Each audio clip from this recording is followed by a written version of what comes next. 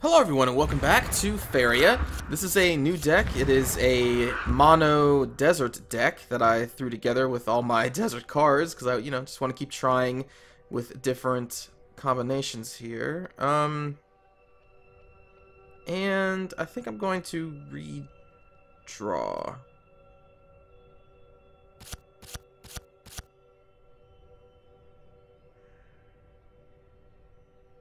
Hmm, okay. Uh, let's play a land.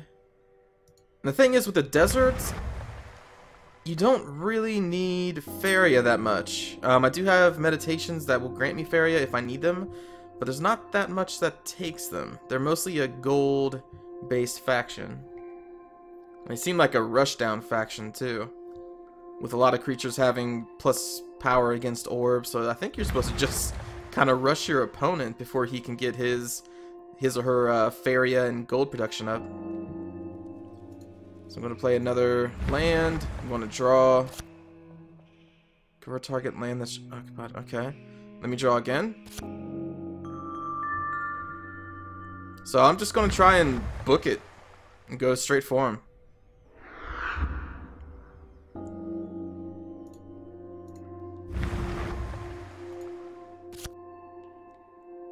A Keldron Emissary. Let's do that. Probably play a land and play Keldron Emissary next turn.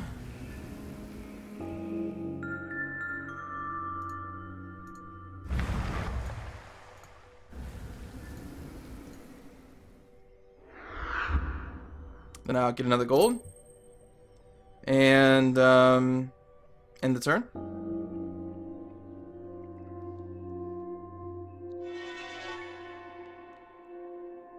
Probably play this uh, Shaitan Berserker next.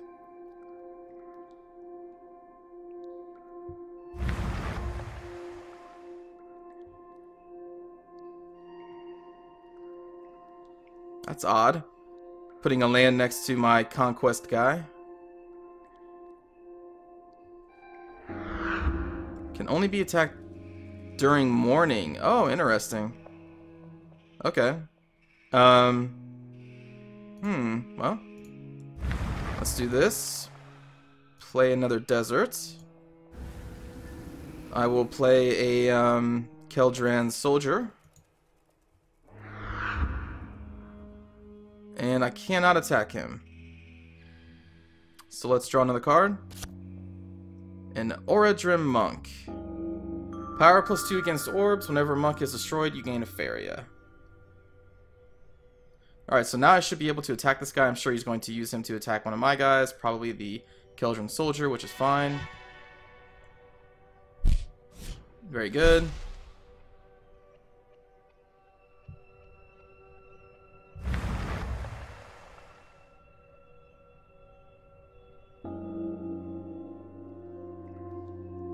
Oh, wait, no, I guess I don't get it. I can't attack him? Wait a minute. Oh, my morning comes... Oh, man. Okay, I didn't even realize that. Uh, well... Shoot.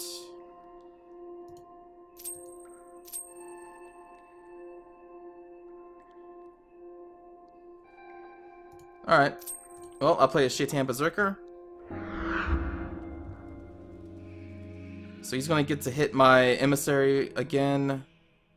Or once bring him down to one. Unless he has some kind of pump up.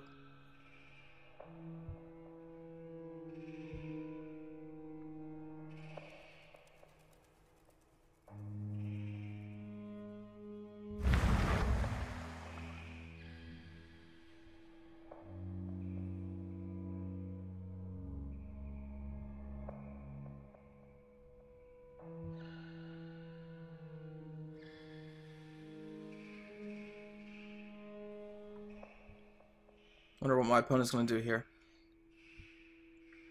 So I'm kind of going all in against him here. if this doesn't work, well, oh well.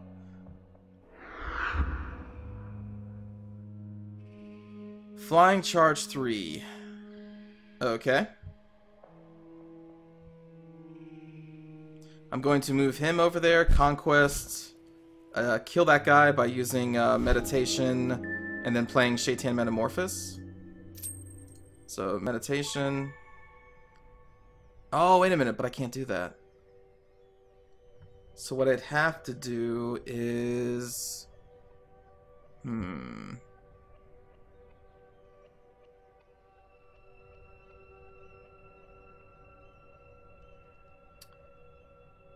Well, I can kill both of his creatures, but I'd have to do it another way. Hmm.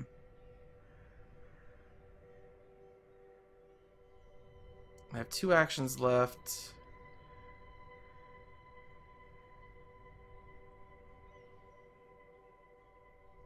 Hmm.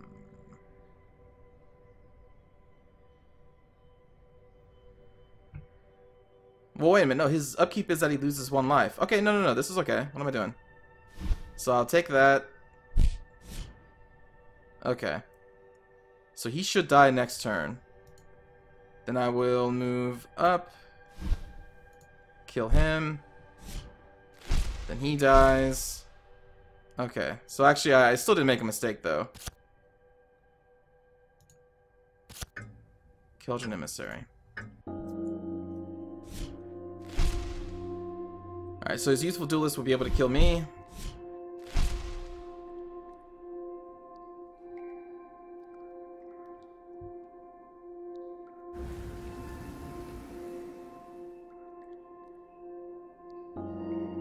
Alright.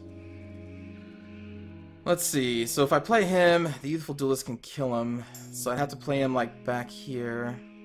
Hmm.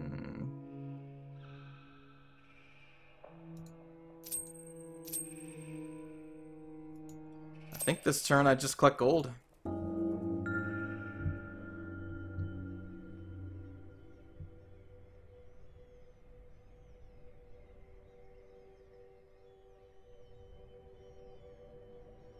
But the important thing is that I do have a land that is right next to his orb, so his orb is threatened. Hmm. Flying Manta Ray.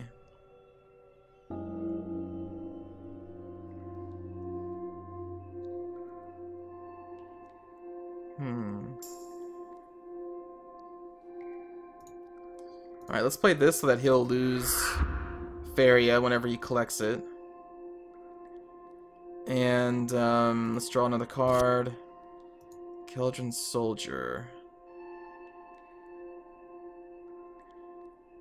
It's gonna be it's gonna be rough with that flying manta there. Hmm.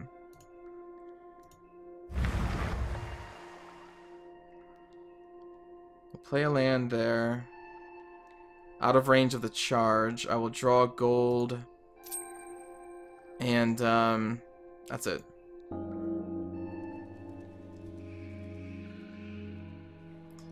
I'm gonna need to drop the Keldron Emissary so that I can withstand the attack from the Youthful Duelist.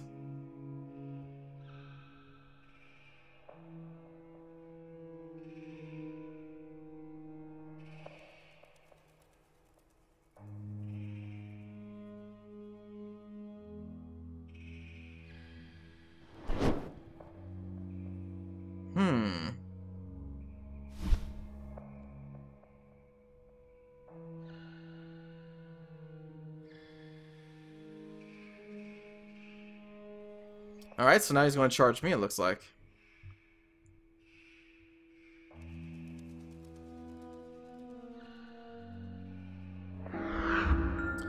Ooh, a Steam Forge. Okay. Um, well, it looks like I'm going to have to play my emissary back here.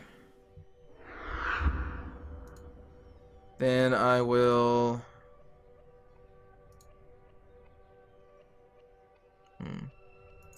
Just play some more land and try to surround the land that he has.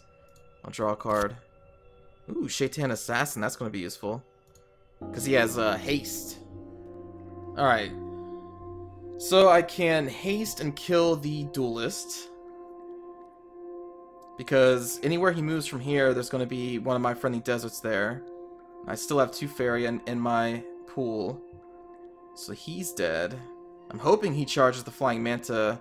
But he's not going to do that, though. Not until the... Not until he has Faeria to pay for his Steam Forge. So is he going to go collect Faeria?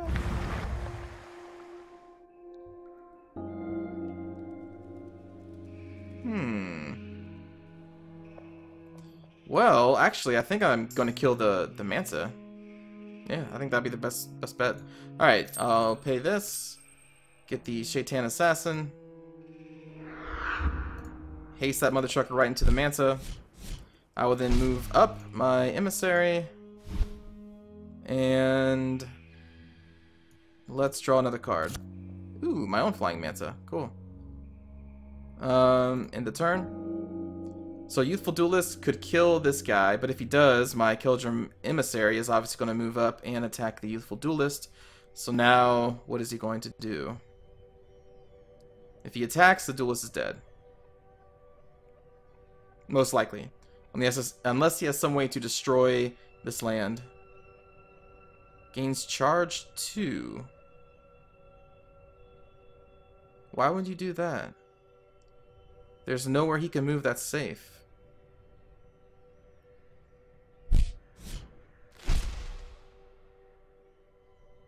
Okay.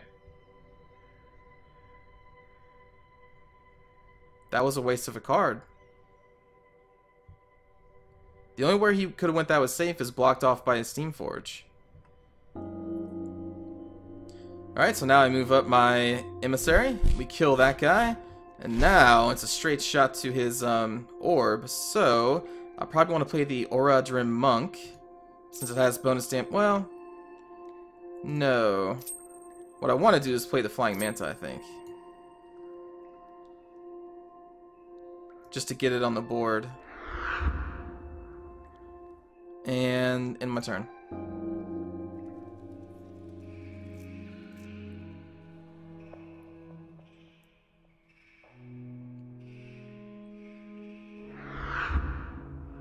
Alright, so he plays a Keldron Soldier in the one place I can't reach.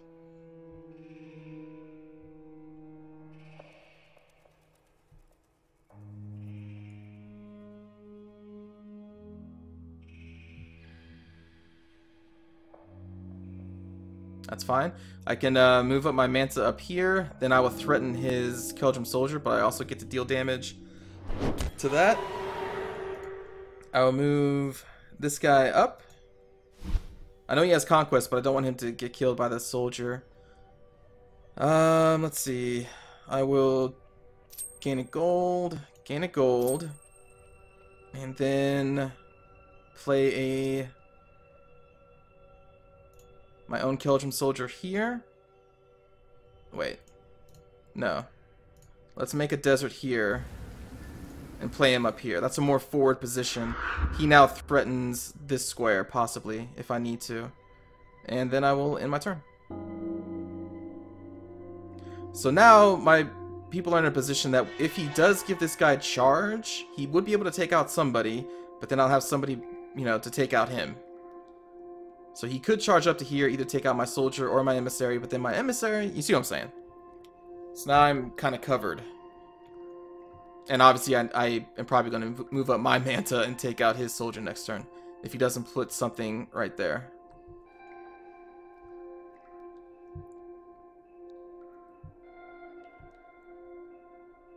So yeah, the feeling that I got when I was putting this deck together is that this is a very rushy deck since it doesn't really rely that much on Faeria, so that's why I played it this way. Alright, so he did have a Haster. That is unfortunate, but that's it's fine though. I can move up my Keldron Soldier up, kill it, then move my Manta up here, kill him, and I should be okay. And then I'll be able to play my Oradrim Monk. Yeah. Right there.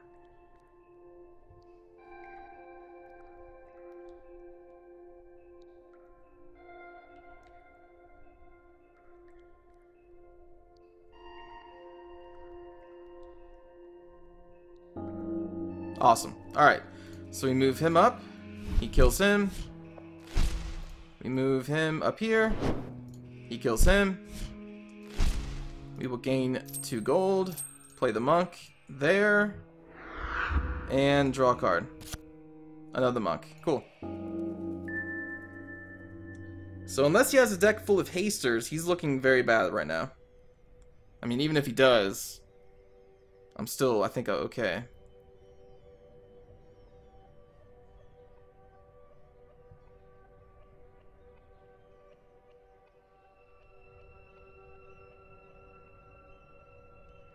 Alright, so he drew two cards and got a gold. I, I assume he's looking for an answer.